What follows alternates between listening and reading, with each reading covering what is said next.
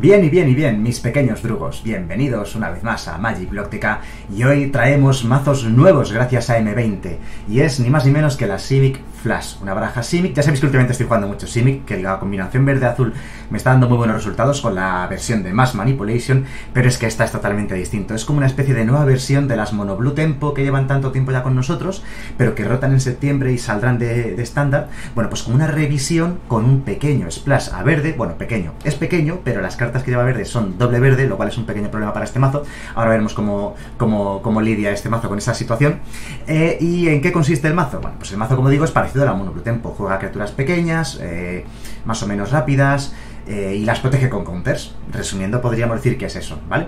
Pero la gran diferencia de este mazo es que todos, todos sus hechizos los puedes jugar a velocidad, a velocidad instantánea. Es decir, los vas a jugar siempre en el turno del rival. Y eso lo hace un mazo único, prácticamente, ¿no? Muy especial, muy distinto, divertido, pero con el mismo espíritu de jugar criaturas de calidad protegerlas con counters y ganar la partida gracias a ello, ¿no? Vamos a hacer un pequeño deck test, como siempre, en la descripción del vídeo. Os dejo el listado completo de la baraja, ¿vale? Para que lo podáis exportar a Magic Arena y como digo, es una de las nuevas eh, incorporaciones a estándar gracias a M20 y en particular gracias al emboscador de manada nocturna, que es una de las razones para llevar verde este mazo. Hay dos razones, una es el emboscador de manada nocturna y la otra es la mística crestada, que es una criatura y es counter, es puro tempo, ¿no? Esta carta. Y ventaja de cartas, es muy buena, ¿no?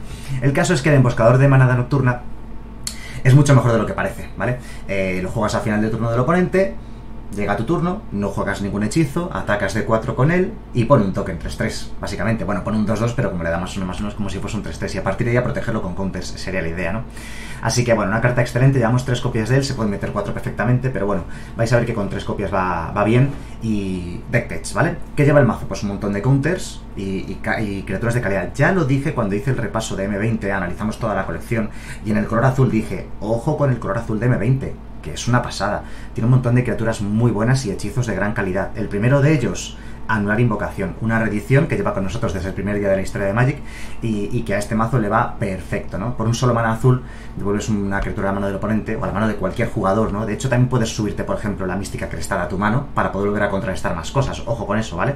Bueno, una carta muy buena, de excelente calidad, por muy poco mana hace un gran efecto en la partida, ¿no?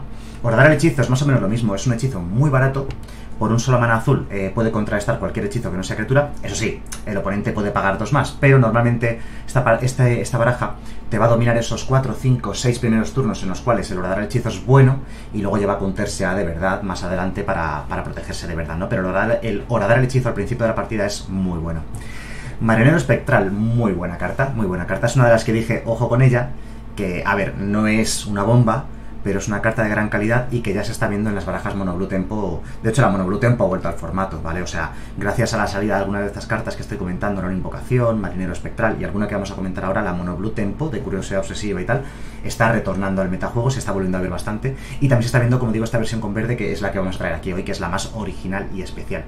Llevo una copia de Optar random, eh, no me disgusta nunca llevar Optar, así que perfecto.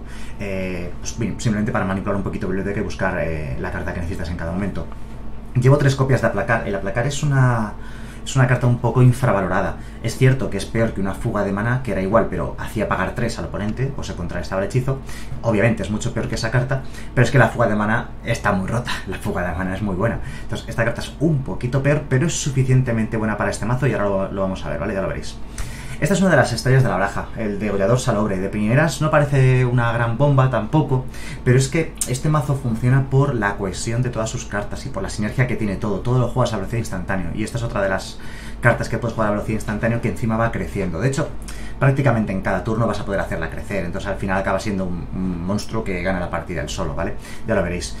Se podría meter incluso sumergirse para proteger el degollador salobre, ¿vale? Porque es muy importante, pero bueno, ahora veréis que como llevas muchos puntos tampoco es tan importante.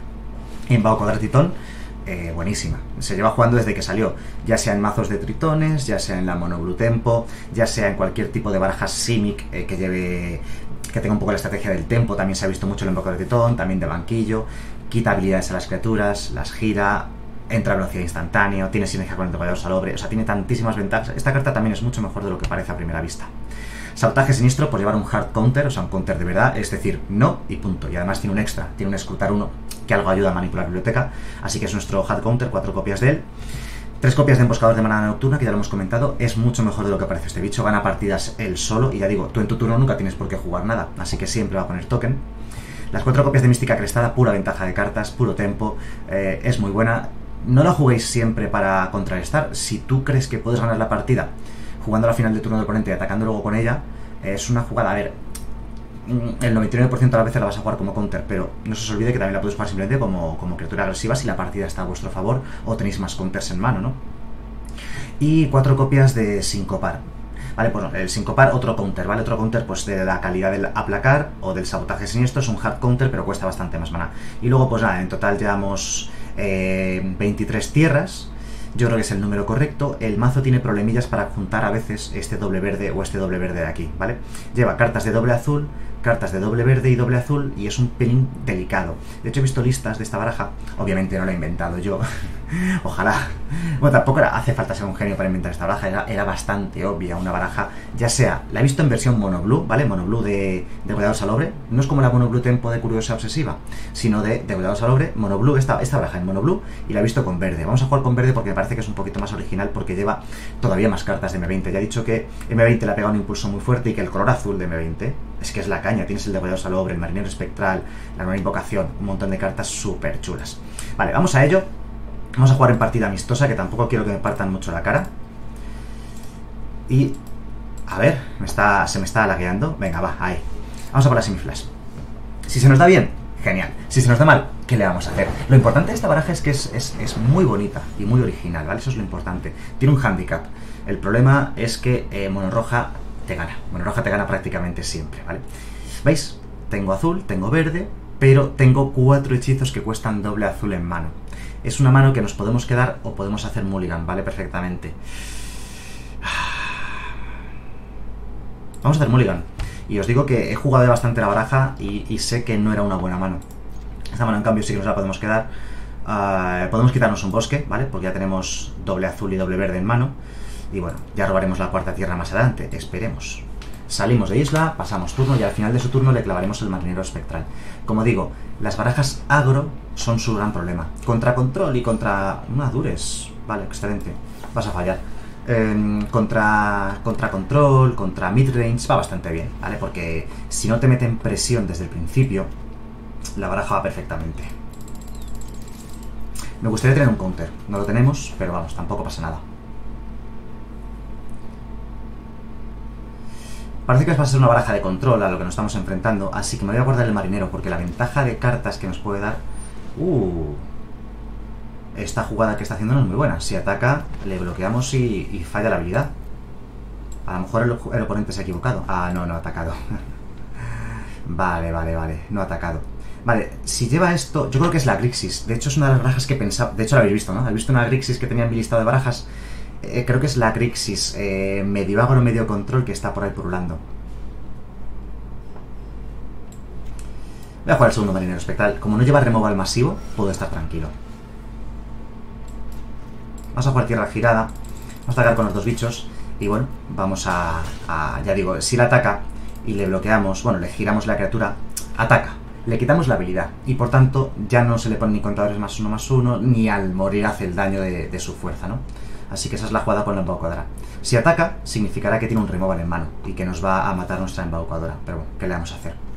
Al menos, eh, si nos mata la embaucadora, la habilidad se la quitamos y no pone el contador más uno más uno, que algo es algo, ¿no? Ahí está la tormentar. lo malo es que está, fijaos que tenemos tres tierras en mano. Uf, vaya robo. Este robo es buenísimo. Este robo es buenísimo. Si juego algo importante, mística crestada. Si no juega nada importante, robamos carta con el minero. El carnicero va a crecer. Es casi inevitable. Vale, esto es un counter de libro. Porque si no es un 4-4 que no podemos quitarnos luego del medio, ¿vale? Y los marineros espectrales se, se encontrarían con un bloqueador demasiado molesto para él. Aquí podríamos incluso bloquear, pero no lo vamos a hacer. Vamos a intentar ganar la carrera de vidas. Fijaos que le quedan 11 de vida nada más. Que estamos ganando nosotros la carrera de vidas. Voy a jugar tierra. Vamos a atacar con todo. Y no tenemos counter. pero tenemos anular invocación para mística crestada. La subimos a la mano y contrarrestamos, que os lo dije antes en, al comienzo del vídeo.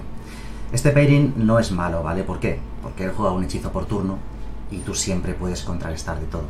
Podríamos subir el Nicol Bolas, pero es tontería. Me subo la mano a la mística crestada y le contrarresto el Nicol Bolas. ¿Veis? Esta jugada es muy buena. Así podemos seguir atacando con las criaturas voladoras, que al final puede que lleguen a ganar la partida. Eh, lo malo, efectivamente, es que ahora ya tiene el carnicero para chumbloquearnos a la mística crestada.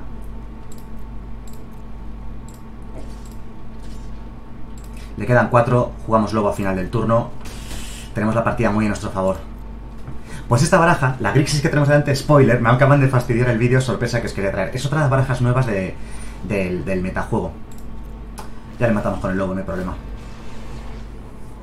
Esto de barajas nuevas. La Grixis renovada lleva sus 8 Nicolboras, como todas, pero lleva criaturas pequeñas. Nos decide destruir la mística. No me lo esperaba. A ver si ataca incluso, no creo que ataque. Sí, sí que ataca. Buenas. Pasaba por aquí y tal. No le voy a bloquear. Le voy a bloquear porque no me importa ponerme 2 de daño.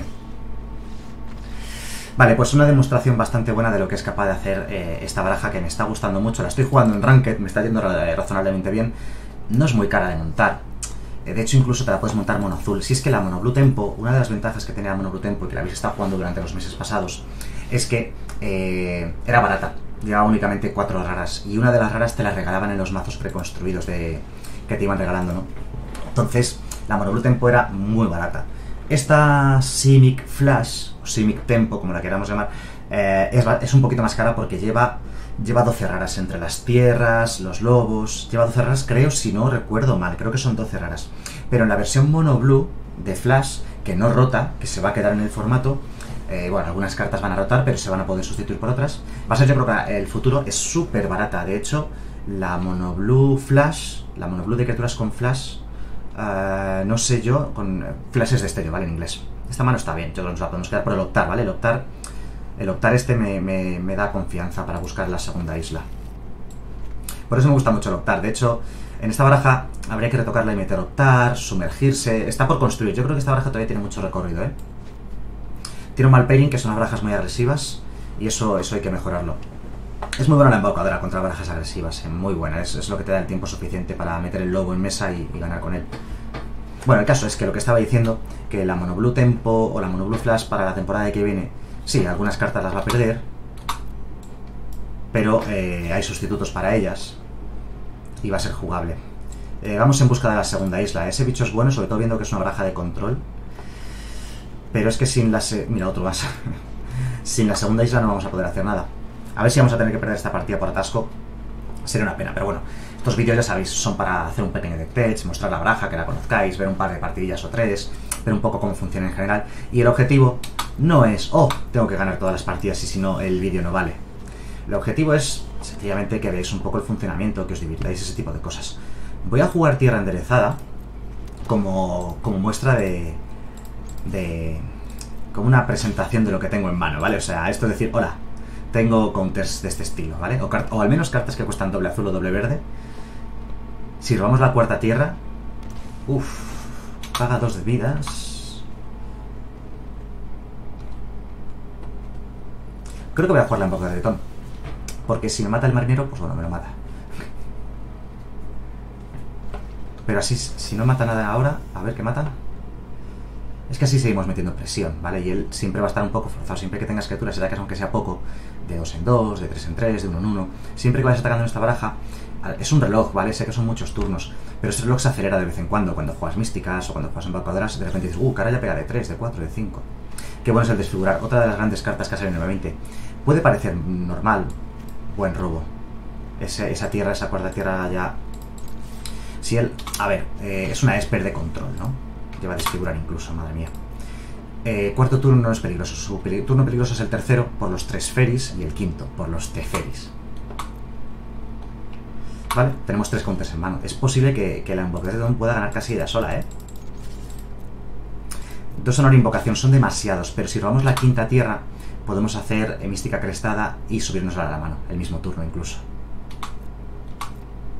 Lo que decía antes, podría jugar la mística crestada ahora a final del turno porque tengo otros dos counters y seguir metiendo presión. Creo que no merece la pena. Oh, ya tenemos el, Lo malo es que no tenemos triple azul y hace falta triple azul para hacer la jugada en el mismo turno.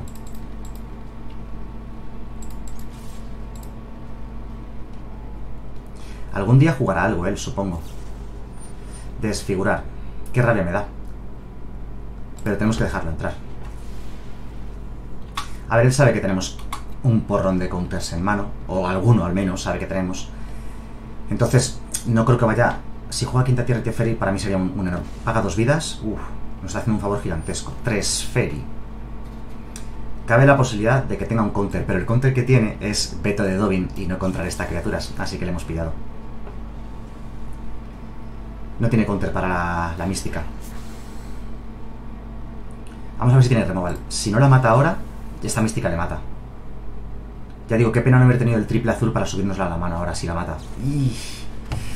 Qué pena, os imaginé, la subimos a la mano y ya victoria total. Tres, nos hemos robado los tres en una invocación. Ya es mala suerte. Por muy poquito, ¿eh? No podíamos dejar entrar el Teferi ese, porque el Tresferi... Esto hay que contrarrestarlo. Tenemos la opción de robar más cartas, más de una carta. Ahora sí tiene el veto de Dobin. Ay Dios, hemos tenido mala suerte con tres en una invocación. Se podría quitar un, uno o dos de los en una invocación y meter, como decía antes, por ejemplo, sumergir. Venga, hombre, más bosques. Y meter algo. Se le olvida usar la habilidad de ganarse en el turno anterior. Supongo que se le olvida, vamos. Nah, esta partida está perdida. Es que tenemos tres removal contra criaturas y no tenemos ninguna respuesta contra... O sea, no tenemos una amenaza. Va, tres Ansamon, qué mala suerte. Más tierras no, por favor. Buah.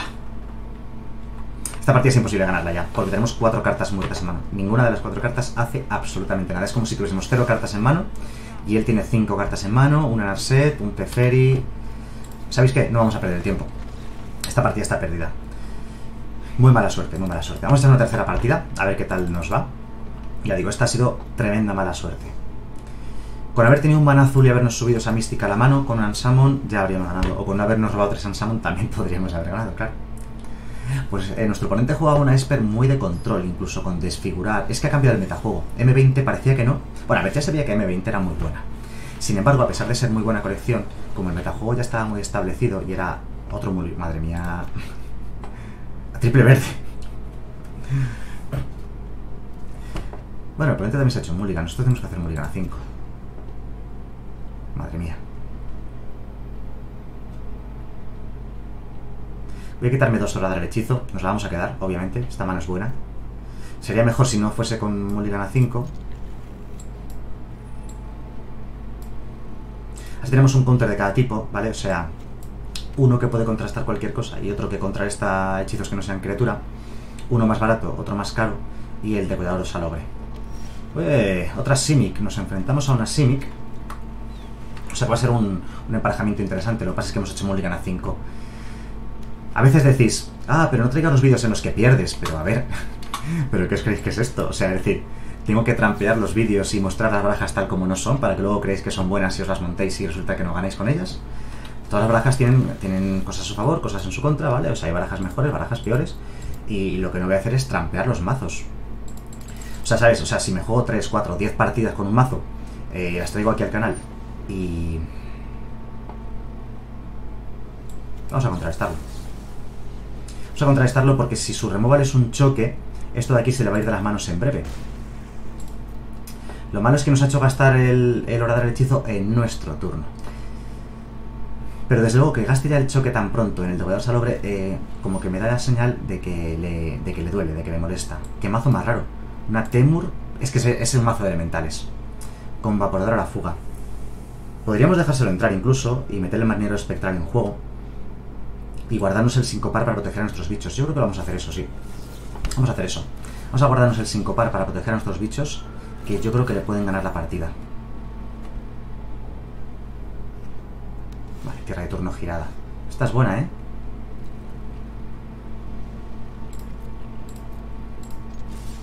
Podríamos jugar en el mantenimiento y girar el evaporador a la fuga.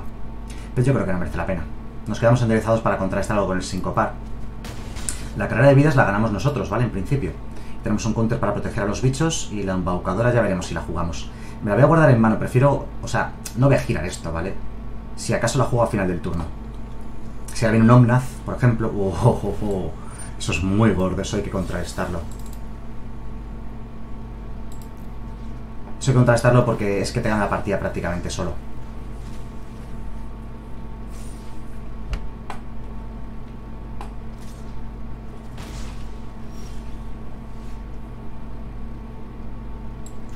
Estamos en problemas.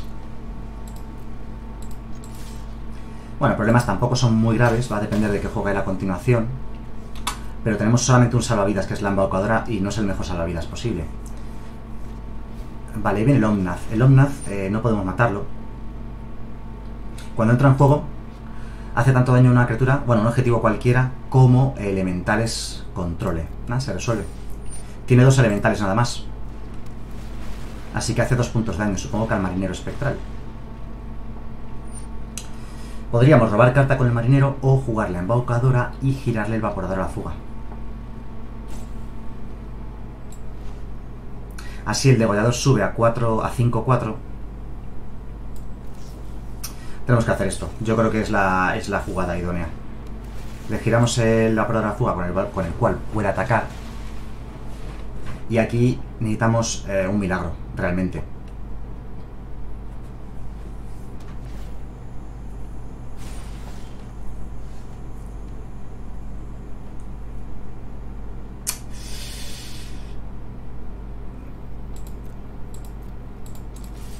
Voy a ver si quiere bloquear al embarco de Titón.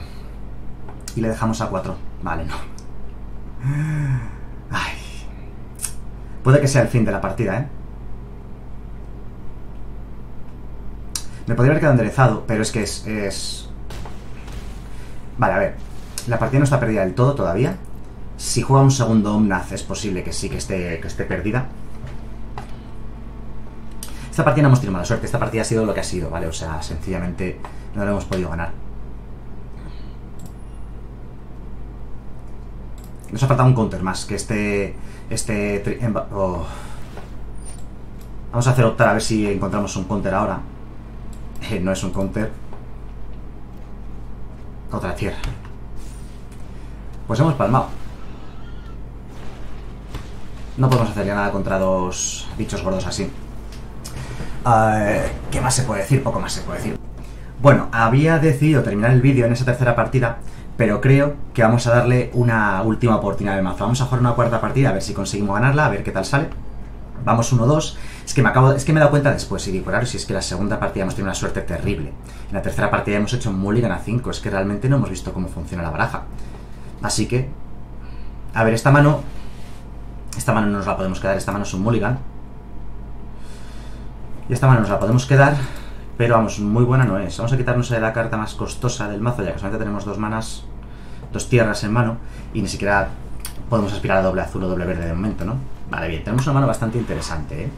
Tenemos criatura de primer turno, de segundo turno y luego protección para ellas.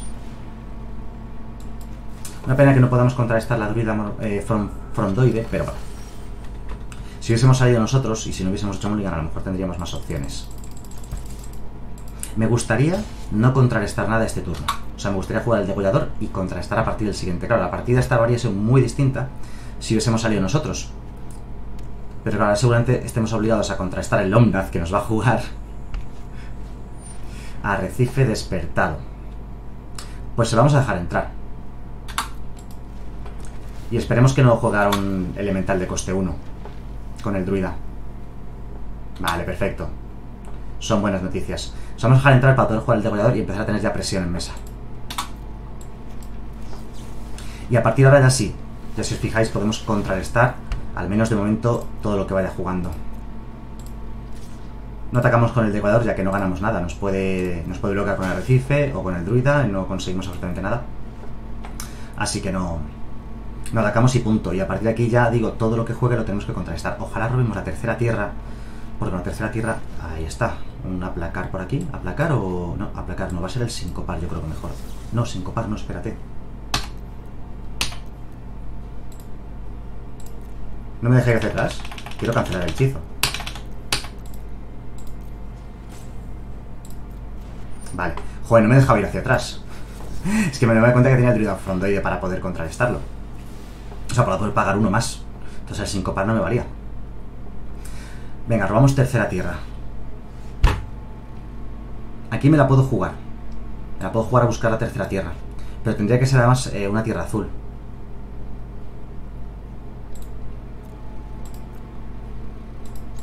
Ataquemos primero.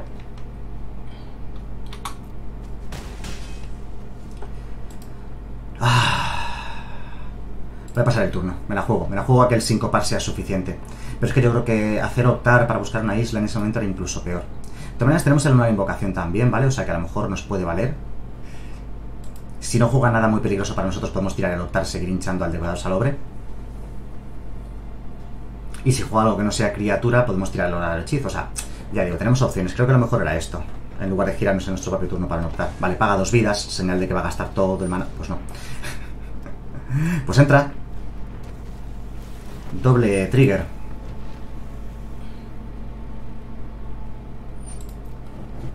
Pero ahora sí que se ha girado, aunque ha robado dos cartas.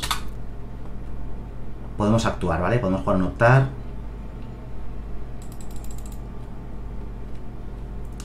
Vale, tiene ya tres bloqueadores para nuestro degollador salobre y eso va a ser un poco pesado. Vale, final del turno. Parece que tiene algo a velocidad instantánea, es raro, en esta baraja. Un negar. Vale. Me niego a un optar, vale. Joder, seguimos sin la tierra. Nosotros seguimos atacando. Qué pena, con la tercera tierra esto habría... se, se podría ganar, claro, pero con la tercera tierra sin ella Finalizamos turnos, seguimos sin poder jugar counter, no podemos jugar la boca de. Solamente podemos jugar el Ansamon, así que sea, que sea bueno. Tendría que haber bloqueado, yo creo. Él está arriesgándose demasiado. Tiene 6 de maná, ¿vale? A su disposición. Lo digo porque nuestros hechizos dependen de la cantidad de maná que tenga. Vale, gracias. Le ha dado un montón de valor a nuestras cartas, ¿eh? Así que muchas gracias. A ver si vamos a la tercera tierra para poder jugar el, sabotaje siniestro del siguiente turno y ganar la partida sí o sí. Bien. Ah, por fin. Vale, tenemos ya hard counter para el siguiente turno. Él ya chum bloquea.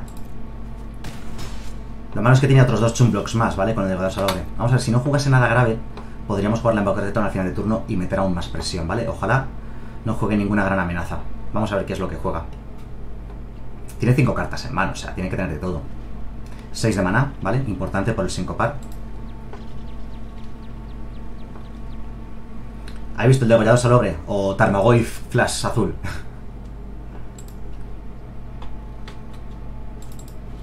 Otra Nisa. Le podemos tirar un sincopar. La verdad es que tampoco hace ya mucho la, la Nisa a estas alturas, pero bueno, la contrarrestamos igualmente. Esperemos que no tenga él un oro dar el hechizo. No, no lo tiene. Es que antes nos tiró un negar que me ha extrañado bastante. Así que digo, joder, lo mismo lleva a dar el hechizo. No está muerto, ¿eh? Él todavía puede aguantar. Puede hecho un bloquear a mi 6-5 un par de veces más. Lo que pasa es que, bueno, no sabe que tenemos los counters. Bueno, menos mal, nos hemos resarcido en esta última partida. Al final 2-2. Es lo que os decía. Así es que eh, aquí venimos a mostrar la baraja tal como es, ¿no? Entonces, eh, ¿de qué me serviría grabar las partidas en las que gano o para las partidas en las que sale súper bien para decir, mira qué buena es la baraja, mira qué bueno soy? Pues sería engañaros, ¿no? Os montáis barajas y, luego nos sirven, ¿no? La baraja es buena, es divertida, yo estoy rankeando con ella, no me está yendo mal del todo. Pero, también lo he comentado, creo que le falta una vuelta de tuerca. Creo que la baraja puede ser un poquito mejor de lo que es ahora, solo falta encontrar el, puntito, ¿no? Eh, hemos jugado el, lobo en la primera partida nada más y luego en esta partida no nos ha salido. Pero bueno, también es cierto que hemos tenido un poquito de mala suerte, ¿eh? Ojo, hemos tenido un poquito más suerte en un par de partidas que nos hemos hecho en Mulligan a 5, que, hemos tenido mala suerte con los robos y tal. Pero bueno, es que es lo que es, es lo que digo. O sea, no quiero engañaros. La baraja es así, me juego unas partidas. La he jugado bastante, ¿eh? ya digo, he estado rankeando con ella un poquito. Eh, la he jugado bastante también en, en partida amistosa y, y no es una pisonadora, ¿vale? Es divertida, es buena, va muy bien contra barajas de control y contra barajas midrange, pero las de agro te, las de agro te parten la cara. O sea que, que, es el problema que tiene, ¿no? Así que os la recomiendo, pero bueno, con cautela. Bueno, en cualquier caso, espero finalmente que el vídeo os haya gustado y nos vemos en el siguiente. Hasta luego.